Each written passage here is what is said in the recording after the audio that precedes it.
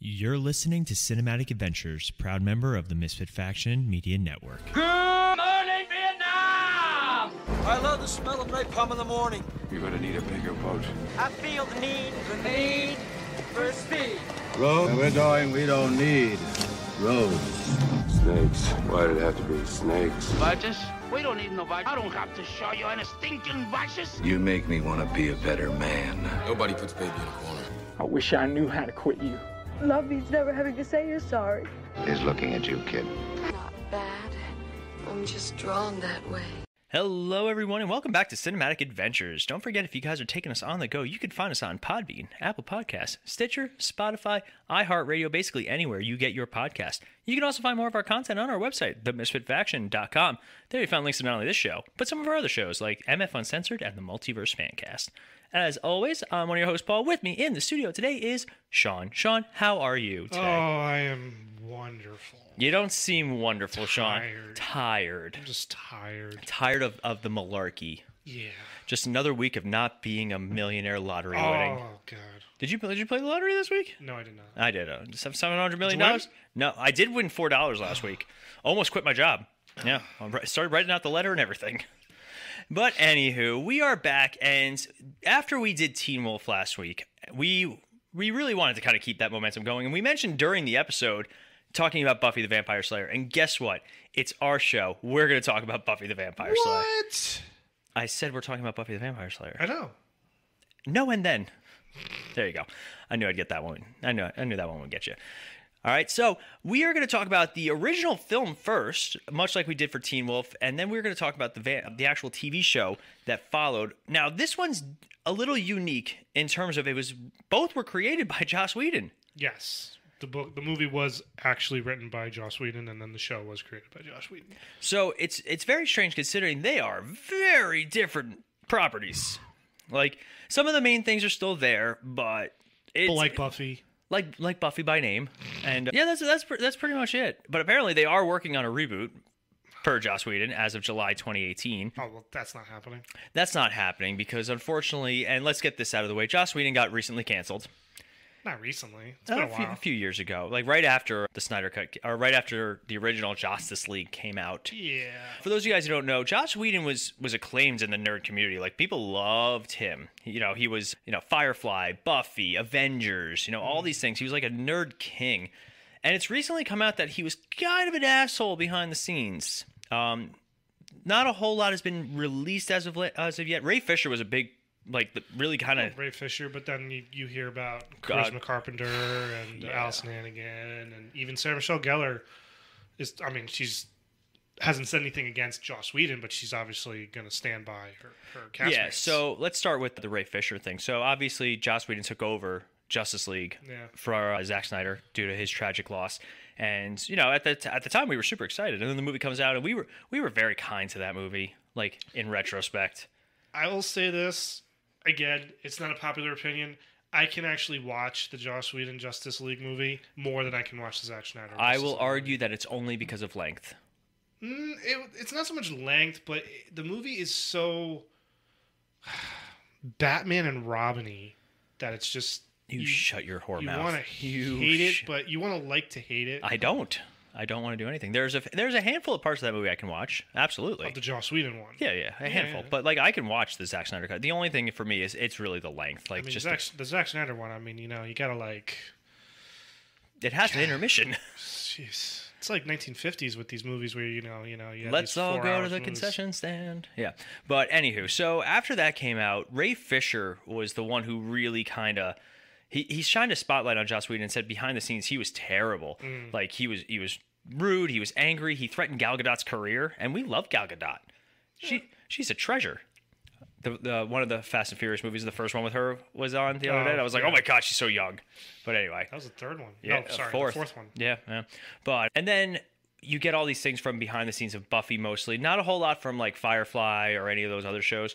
But apparently, Charisma Carpenter, like he wrote her out because she got pregnant and was not nice about it, and did a whole disservice to her and some of the other actresses and actors. Primarily actresses, but also a couple of things. Not, no like Harvey Weinstein style stuff, but As far as we know now. as far as we know. I hope not. But anywho, so after that, he he was pretty much pushed out of the uh, the spotlight, and we haven't really heard too much about him since. But what, what were your thoughts on Joss Whedon to begin with?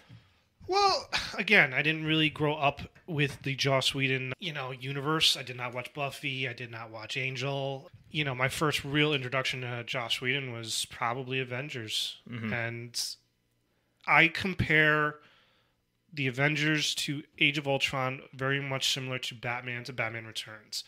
The first movies are directed by their director in a way that works with the comic book adaptation, but then the second movie comes along and they turn it into their their movie.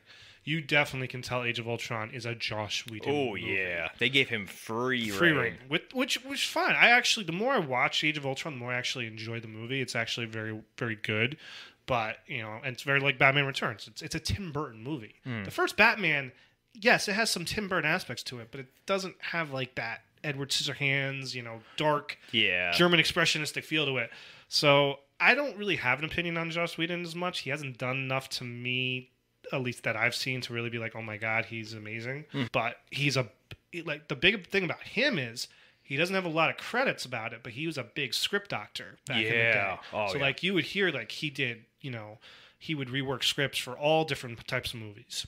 Mm-hmm. A lot of movies he never got credit for. I mean, like you only see it on the IMDb facts that oh, Josh Whedon, Josh Whedon did an uncredited rewrite of this script. So you know stuff like that, Right. You know, but eh, I just I don't have any respect for people who are just assholes yeah. I mean, and you- too many people when when there's too when then there's a good amount of people saying the same thing about you more than likely it's true Yeah, like Joss Whedon, like his defense was that Gal Gadot didn't understand English well enough to understand what he was saying. that's an asshole response yeah, her response was, "I understand English perfectly, and I'll never work with him again."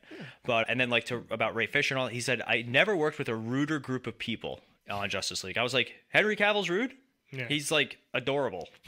Like he's like the nicest, nerdiest guy." Uh, it's just again the guy is he's conceited he thinks he's god's gift to filmmaking probably and you know he finally got called out on it Mm-hmm. and you know that's what happens you know a lot of times when you become really big you're yes he continued to be an asshole but the past assholeness comes out to light look at a Past um, hole. much darker version of Bryan Singer mm-hmm. you know Oh yeah. Actually, people are coming out to defend him all of a sudden. Lately. It's I've been- weird how that happens. Not defend what happened, but say that he was actually a really good filmmaker. Which you know, fine. Oh, yeah, I mean, you, you can can say say, that he's a great filmmaker. Say that about Joss Whedon too, or like you can even look at some of like uh, who directed The Shining again off the top. of your head? Kubrick, Kubrick, like he was terrible to. Shelley Duvall, yeah, The Shining. like you hear Yeah. horror stories, but that's okay. Yeah. That's fo- totally fine. But like he traumatized that woman. Yeah.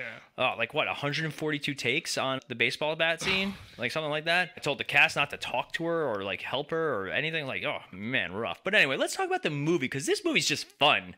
Oh God, yes. This is just a fun movie. So the show and the movie have the exact same synopsis. It's about a varsity Valley Girl cheerleader who is chosen to save the world from vampires. And go. Mm. All right. So initial thoughts on the Buffy the Vampire Slayer film. Wow. So again, I knew the show was much darker, much more serious. This movie is the definition of just fun, jokey, really not much serious, you know, moments in this movie. There's a couple moments where you're like, "Oh, okay, that was a little dramatic," but for the most part, very hokey, mm. which is not what Joss Whedon wanted. That not was not in his original script. They lightened the movie up a lot more to be released. It was it's Valley Girl meets vampires. Mm. I mean, you know, to the you know, it's like the clueless. It's before it's clueless before clueless. Right. Because this was 92. The 92. So this is like, you know, just the movie starts off and the girls, I mean, it's literally, you know, Clueless meets, you know, the vampires. I mean, really, that's all I could say about it. It's, but it's, It's hokey. it's hokey, but it's got a good spirit to it. It's it's Clueless good meets. cast. Oh yeah, we'll talk about the cast in a second. But it's Clueless meets The Lost Boys. I think Yes. that's the best way to describe it. yeah, I could see that. Because it, it does have some dark moments in it. Yeah. Like people die in this. well, obviously, Like a lot of people die, but uh, yeah. So let's start with the cast. We have Kristy Swanson as Buffy Summers. Kristy Swanson was such a '90s it girl. she was nine. Yeah, she was like late 80s, you know, into the '90s. I mean, she went all the way up to remember her in Dude, Where's My Dude, Car? My Car, which was the weirdest It's Christy Boner. because she's like probably almost 40 in that movie, And oh my god, is she And still she's gorgeous? still looked like she was like 25. she looks great. I mean, she goes all the way back to Ferris Bueller. Oh yeah, that's right. She's the girl in the classroom Yeah, that does the whole like you know. I heard it from his si- heard it from my sister's friend's brother's. Yeah, boyfriend who saw Ferris pass out at 31 Flavors last night. I still love it. But she's she's one of those actresses that I don't really think got her due though. Like she's she's got a few other things to her, but like in all honesty, she, you know, right now This she- is probably her claim to fame is this movie. she's 53. Really? Yeah, she was in Hot Shots. Yeah. Yeah, I forgot. I'm just looking at her. Hot uh, Shot. She was in The Chase. She Big Daddy. Big Daddy. That's right. She's the girlfriend in the Vanessa, yeah. Vanessa and the Big Daddy. What happened to Sid's five year plan? and then not a whole lot of other stuff. Like Nah, she kind of really kind of fell after off. Dude, Where's My Car? It kind of, and that was Yeah. 2000. So yeah, after that, a couple of television things, but really like, her big her big thing was late 80s, early 90s. yeah. Oh, she was on Psych. That's nice. But yeah, otherwise she hasn't been around. But like, I do like her. I think again, she did not get her due. I feel like she's one of those actresses that we everybody remembers and everybody knows, but nobody like, like, oh, I remember. You really just remember her for this. I think this is her biggest role. Mm-hmm. So next going down, we have one of our another big '90s star, Hmm. Luke Perry's Oliver Pike. First and foremost, rest in peace, Luke Perry. Yes, big fan. yeah. He was one of the best things about Riverdale, even though that show that show went off the rails. And this is Luke Perry season two of Beverly Hills 90210. So this is Luke Perry at his all time high. at his Perryest. There you go. Yeah. So yeah, '92 is when this movie came out, and then I'm trying to. Yeah, Beverly Hills 90210. The first season was '90. So yeah, probably about. uh He did almost 200 episodes of that show. Yeah. Yeah. But I liked Luke Perry. I anytime he was on something, I was always like, oh, it's Luke Perry. You know, he did a great episode of uh, SVU. You remember that one? Where it's the kid who has like the explosive anger and he's like driving the truck in the beginning. And yeah, like apparently You he's have the, a weirdly good memory when it comes to SVU episodes. Oh yeah, it's it's TV in general. Like Small, Smallville was, was the same way. You, yeah, Smallville. I'm better with movies than I am with TV shows. Yeah, yeah, yeah you, you definitely are, especially if the movie was like made years and years and years ago. But anywho, you're it's we're like a good combo though. Oh, yeah, It, yeah. it it's you know it complements. But I like Luke Perry again, another actor. He's really just known for Beverly Hills 90210. I think Riverdale helped. It was like that. What's the? It's the. It's the word you always use when it comes to uh, old stuff into new stuff. Nostalgic. Nostalgic was having him in that show. oh, absolutely. And he just brought a lot. Of, he's just a likable guy. Uh, did you ever watch Beverly Hills 90210? I don't think I was allowed to. Not when it was on regularly, but like in reruns. Yeah, and then they did, on like- the FX network. Or They did the like uh, the remake with the girl from Fired Up, Panthers Out. Oh really? Yeah, oh yeah, yeah. I, I I think I watched the first two seasons on uh, like streaming, Mm-hmm. and it's it's a much more serious Saved by the Bell. yeah. Oh, definitely. You know, that's what it was. And now going down the list, we got Rutger Hauer as Rutger. Rutger Hauer as Lothos, the Ah, bad guy. Rutger Hauer, rest another one, rest in peace. I know, man. Like he's again, so many of these actors are like actors you know, yeah. and if you don't know them, you just have to mention something that they were in. You're like, oh my god, it's that guy. And he's another one very similar to the next actor we'll mention. Um, Rutger Hauer's really not in the movie that much. I mean, No. he really is. I think combined screen time, I'd uh, screen time, I'd say is maybe like ten minutes. Mm-hmm. He really has like one scene in the first half, and then like the ending. I Mm-hmm. mean, he really doesn't make much of an appearance. You know, he's kind of like held back to be like the big reveal near the end of the movie. he was in Batman Begins more than he was in this. probably yeah, that makes sense. But He I might have been in Smallville longer than he was in this. Oh my god, who was he in Smallville? Season th- four into five. Oh, he's Morgan Edge. That's it. That's right. Wow. Oh, look at that. I like him. Paul, Paul. Again, he's one of those actors that that pop up all sorts of places. Oh yeah, I mean, go back to Blade Runner. and, Mm-hmm. You know, he's he's a great actor. You got Donald Sutherland as Merrick Jameson Scythe. Did they ever Smythe. have Merrick in the show? No, they kind they kind of warped his character and like so when the show comes out, they take a lot of these character concepts and change them. Oh, okay. Some of them are are very similar, and then others just not so much. Wow. Yeah. Well, Donald Sutherland, the the character of Merrick, he's basically the the guy who has to train Buffy Mm-hmm. to become the Slayer. He has progressed through time and he finds every Slayer after you know once they you know come of age to become to start training. He, you, you you never find out exactly what he is. Is he like a, a he's not a because he dies. Yeah, So he is he- in the show. I, I I will say it. He's he appears in a flashback very similar to like he he recruits Buffy into the whole Yeah. war against it. But yeah, you don't ever see him in too much. But he is the father of he like in the comic book that comes after the show. They they do a little bit more about him. But in all honesty, yeah, he's uh, he's not really that much around. But he's basically he becomes like the Giles of the show, where he's like the Watcher. You know, he And I liked him in this. He kind of has that. He has the. He has a good little chemistry with Kristy Swanson. You're very like just straight laced. He doesn't really do anything funny, but he's just having to deal with this. Seven, I mean, you would assume she's got to be like 17, 18 year old girl who is just worrying about the dumbest things in the world, and he's just like, "I'm trying to train you to save the world here." You know, it's like It's it's weird because like Buffy's only like I think she's 16 in the show when it Yeah. starts, so you get to kind of see her grow because the show only went for seven seasons if memory serves correct. Like it feels like it was on forever. But you got Paul Reubens as Amilyn. He This- has probably the funniest bit in the entire movie. this. So I actually I remember the first time I ever saw this movie was on TBS, Mm-hmm. and they actually promoted it that Paul Reubens was in the movie, Oh, yeah. and he was like the vampire, and I'm like, wait, Pee Wee Herman's playing a vampire? I have to watch this. Yep, yep. And, And this is I, this is before the whole. I, is it before or is it after? I, I think yeah, I think it was before the whole. Uh, whole movie theater incident. Yeah. No, this was after. this was after. really? That was in July of '91. Yeah, because I I think I read somewhere that it was a, he the director or the, whoever was really wanted him and the studio didn't want to. But then he uh, got arrested in 2002 for what? for pornography. Oh, really? Yeah. Oh my god. But he is hysterical in this movie. oh, he's really funny. He just plays this sidekick vampire who's got a leather jacket. He's got a goatee. I mean, you if you did not know it was Paul Reubens, you wouldn't. You couldn't Oh, recognize no. him. Yeah, he, and again, he has the like our favorite bit in the entire movie is when he gets. So basically, in this in this iteration, the vampires they have to be staked. You know, wooden stake. And they don't disappear. They don't turn to dust. Like in the show, they turn to dust because I think one of the commentaries basically said we didn't want them to have to worry about bodies every week, like just dead bodies all over the town. So in this, they get staked and then they they die. But Paul Reubens milks it so far he goes into the post credits. Ah, it was all right. It's Family Guy before Family so Guy. who'd win in a fight? Peter Griffin rubbing his knee, Lois Griffin rubbing her boob, or Paul Reubens Paul getting? Reubens. Okay, You Paul can't Reubens. even- you no. can't. You didn't even let me finish. No, wow. I didn't because I'm sorry. I love Family Guy. I do, but You did actually. You didn't let me finish. I was gonna say Paul Reubens rubbing in the movie theater. stop. Stop. Too much. Too much. Too much. God. 1990 called. Man, Paul Reubens. You did you ever watch? Pee, you ever watch Pee Wee and all I that? I do remember it, but I was told I did watch it.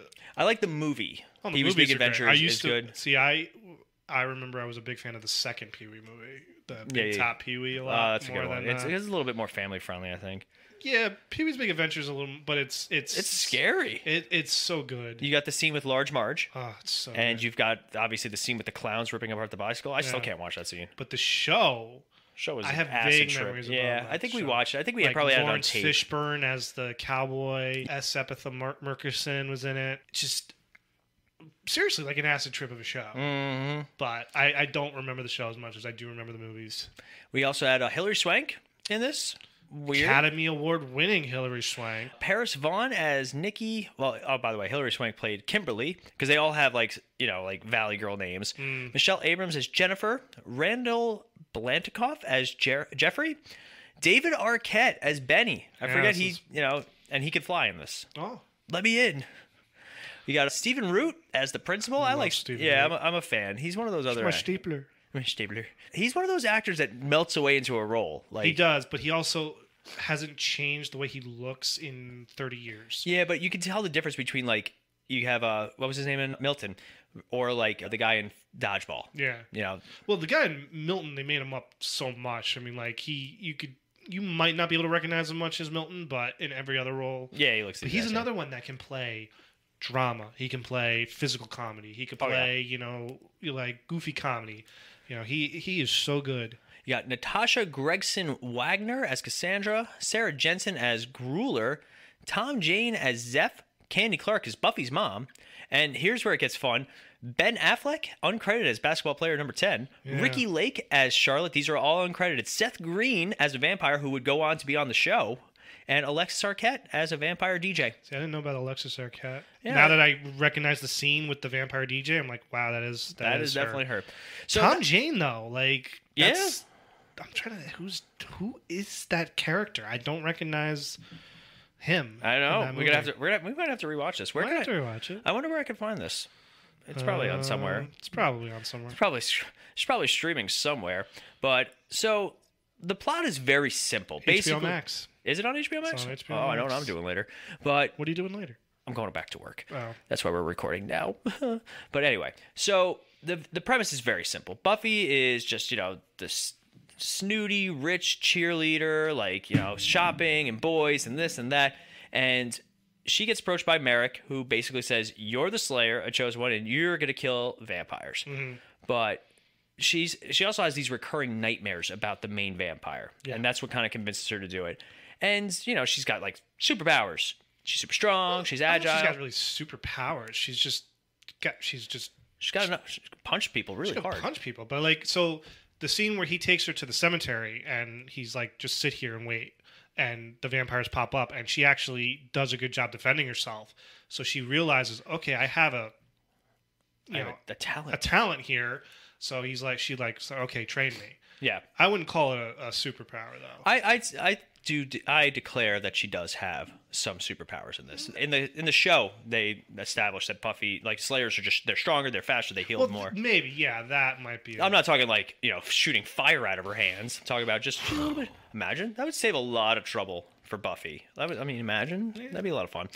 And basically, it's about stopping the bad guy Merrick. No, Merrick's the good guy. Oh yeah, he's a good guy. Lothos. That's such a cool name, Lothos. Mm. But what are your thoughts on this on this film? Like, if I had to ask you, explain to me or tell me about Buffy the Vampire Slayer movie. Tell me about it, Sean. Well, uh, I'd be like, "Do you did you watch the show?"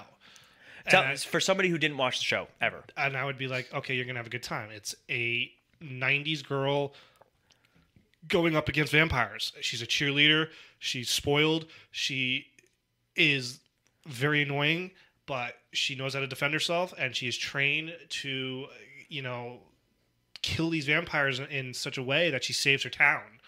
I mean, and there are so many funny moments. And I mean, the, the prom scene itself with all the vampires, where it's like, she's like, guys, they can't come in unless they're invited. And Swank walks up and is like, I invited them. And she's like, what are you talking about? They're seniors. It's the senior dance.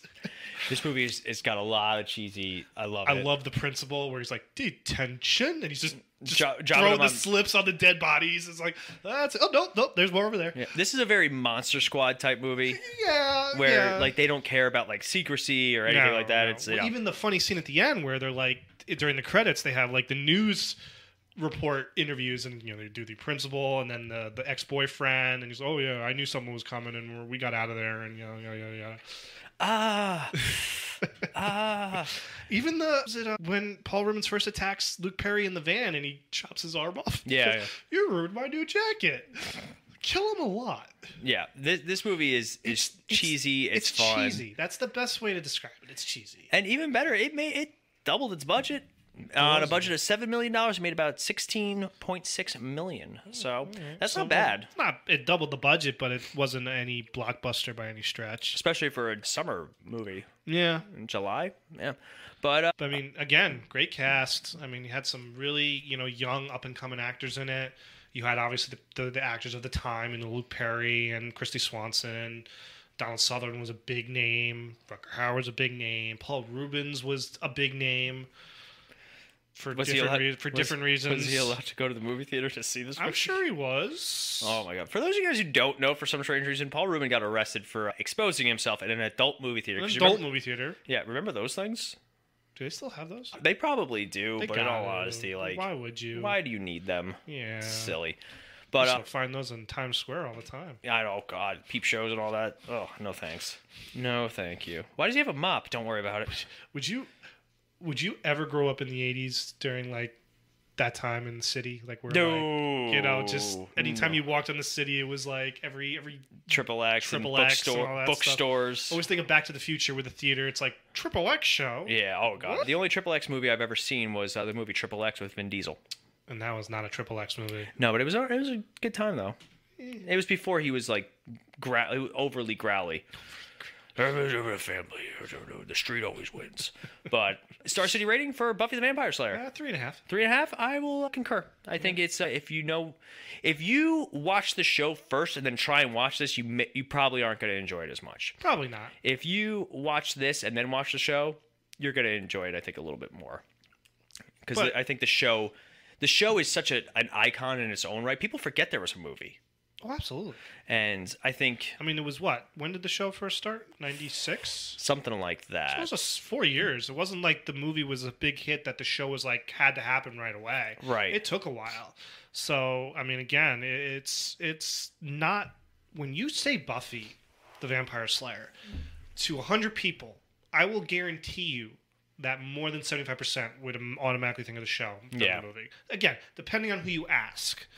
If you ask people younger than us, they'll say the show. Yeah. If you ask people older than us, maybe might they'll say- say, they might both say the movie. or the movie.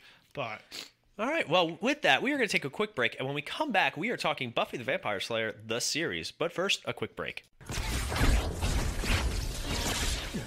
Hey guys, it's Paul, and the Misfit Faction is looking for your help. We are trying to grow not only our network, but also grow our brands. And the best way to do that is if you guys are looking to start your very own podcast. Maybe you guys have been listening to us for a while. Maybe it's something you guys have always wanted to do, but you're not sure how to get started. If you go to podbean.com slash misfitfaction, you guys will get a month of free podcasting on a set as a gift from us. So make sure if you guys are looking to start your own show, you reach out to us and go to podbean.com slash misfitfaction. Also, maybe you guys have your own online business or service that you're always looking to grow, and advertising is a very big part of that. If you guys go to sponsorship.podbean.com slash misfitfaction, you guys can get $100 worth of free advertising, again, as a thank you from us to you guys. That's sponsorship.podbean.com slash misfitfaction. All right, we are back, and we, now we are talking about one of my favorite shows of all time. And I'll be honest, my childhood crush, still, still a queen in my eyes, and that's obviously David Boreanaz as Angel. No, I'm just kidding. Sarah Michelle Gellar, first childhood crush, like my biggest one. This was a show that I think I started watching in the second season just because my parents thought it was a little too scary for me, and uh, they were not wrong. The first season a little is a little dark. It's definitely a little dark. Who would win in a fight, Sean? Buffy the Vampire Slayer or Sam and Dean Winchester? Hmm. you know what? I'm gonna say Buffy. I'm gonna say Sam and Dean, even though I love Buffy, because they use guns. Okay, she could use a gun if she wants. She never uses guns. Okay, but she could use a gun. She probably could, but anywho. So, I'll take Sarah Michelle Gellar. oh yeah, all the time. I want to watch her new show on Paramount called The Wolf Pack. It's like oh, a heard of that. a very loose spin-off of Teen Wolf, but apparently it's not doing too well in the old ratings. oh, bummer. Yeah, such a shame. But we have Sarah Michelle Gellar playing Buffy, and obviously Buffy has become an iconic character. Now, let's let's preface this. This show was created in the early '90s and went to the, or excuse me, created in the late '90s and went to the very early 2000s. I think the last season was around 2004, 2005. This show also survived going from the WB to UPN, and then right before the CW merger this movie or this show is a little dated. If you're going to pick up Buffy and watch it now, just be aware you are going to be dealing with some dated things, some dated concepts, some dated words. Like they they use a fair amount of slurs, but this show was iconic in a lot of different ways. It taught women empowerment. It, Buffy's like a, a icon among women, and also it was one of the best and first depictions of a gay character with Willow Rosenberg. So. Hmm. I know, Sean, you've never watched. No. Have you seen any episodes? No, never, just never, Never never had watched it when it was on, and and I, I don't even know if it was ever was it ever on TNT. No, but I know you, Angel was. yeah, yeah, and I and we could talk about Angel a little bit, I but don't uh, remember Buffy ever being on like reruns. no, it's on Fuse right now. That's what I was Yeah. telling you before off air. Fuse is some random It's one on of those. Random, Hulu. yeah, I highly recommend it. The first season is only twelve episodes. It's short. It must have been like a mid-season replacement. Or Pro- something like. It aired in June of '97, so probably. But then the following season, season two, came out. Oh no, excuse me, it ended in June. It was March, March to June. A little weird, Yeah, because it's probably mid-season, and Mid-season. they probably just did twelve straight episodes, no uh, reruns. And then, But I, think this was also at the the early, if not the maybe first, second, or third season of the WB Network. So Yeah. this is like one of its founding shows, right. And this, I mean, '97. So like, yeah. So this is pre Smallville. This is pre you know all of the the you know teen dramas Yeah. that you know it's been known for. this was pre Dawson's Creek. Yes, I I think like wait. Season or two before Dawson's Creek. 'cause I think that was 97, 98. And this show's also unique in that it aired in March. It went from March to June of '97, and then the second season of 22 episodes came out in September of that same year. Yeah. That is a very short turnaround, Yeah. especially to go from like a spring mid-season replacement to a full-on. You know, like the CW really also pioneered the whole. We started like big shows in September, and then little shows. Like I think Legends started off as a littler show, or a couple of Legends started off mid-season, as I recall. yeah, a couple of their of their bigger quote unquote shows. But again, it survived. It did five seasons on the WB, and then it was supposed to end. Like if you watch the last episode of season five, you could tell that's where it was supposed to end. She, spoiler alert, she dies, and then UPN ended up picking up the show for two additional seasons, and they have to unwrite the last episode. I remember that. I remember one just one night, all of a sudden, I was like, "Buffy's on UPN." Yeah, it was a big thing. I was like, really? really big thing. But it's a show that really took the whole world by storm when it came out. Like it, it had merchandise and it, you know, Merchandise. merchandising. There was a video game, Really? and it, like you, you would change between the what characters. and system? I want to say I played it for PlayStation 2, but I really like I can't remember that well. But you have Sarah Michelle Gellar and you you learn a lot about the Slayers in this. It's a little bit different than than the movie. Well, you have a lot more time to work with the character and actually, you know, do a backstory and all that stuff. Yeah. That's the one good thing about a show, man. You, you just you have time. Right. you know, to really stretch the characters out, to you know, come up with new ideas that a movie you don't have much time to really warrant doing. Mm-hmm. So Yeah. You also now was a- she a Valley Girl in this? Like in the first season, like do you? So it it's like this show's a little weird. So it starts off the first season starts off with her moving to Sunnydale after Okay. leaving her old high school where there was a where she set fire to the gym. oh nice, So they kind of allude to like the stuff of the movie, except in this darker tone. And so she basically got kicked out of school for becoming the Slayer and you know fighting vampires and lighting the oh so she's fire. already a Slayer when the show starts. She is already the Slayer when the show starts. Oh, okay, so it kind of insinuates that this show starts after the movie ends, where she Yeah, killed all the all the vampires. all the and- vampires, and they were like, "Okay, you're expelled." Yeah, Like, so I saved your lives, guys. Thank you. In season two, though, they do a flashback to her when she gets recruited by that version of Merrick, mm-hmm. and she's, you know, she is the Valley Girl. She's like, you know, call me, hi, bye, you know, all these things, you know, cheerleader and all that stuff.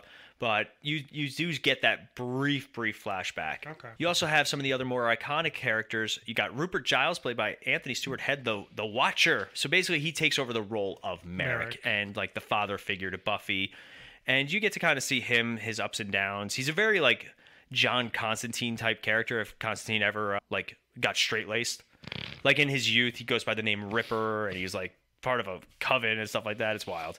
You got her friends Willow Rosenberg, played I- iconically by Alyson Hannigan. She's another actress who took off after this show.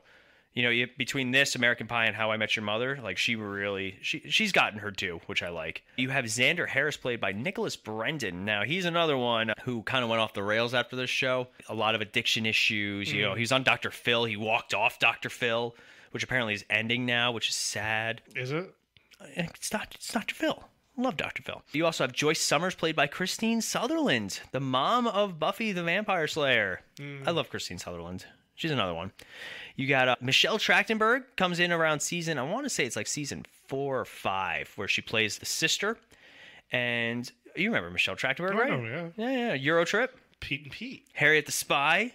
Who'd win in a fight? Her character from Pete and Pete or Harriet the Spy? I don't really remember the character from Pete and Pete much. Neither did I. That's why I referred to her as the character from Pete and Pete. I don't remember a lot about Pete and Pete. I just remember there were two guys named Pete. And Arnie, the strongest man in the oh, world. Oh, that's right. Yeah. Arnie. And you have Angel played by David Boreanaz. Popular character would eventually go on to get his own show.